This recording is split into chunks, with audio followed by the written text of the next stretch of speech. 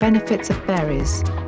Even though you can purchase berries year-round in most supermarkets, frequently these tasty fruits are even better when they're in season and freshly picked. That means summertime for many areas around the country.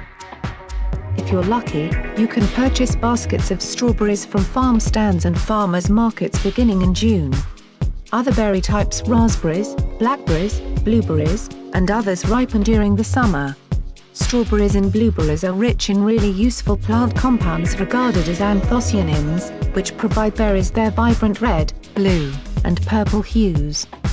Researchers observed that ladies who ate greater than three servings of blueberries or strawberries per week had a 34% decreased chance of heart attack in contrast with those who ate fewer.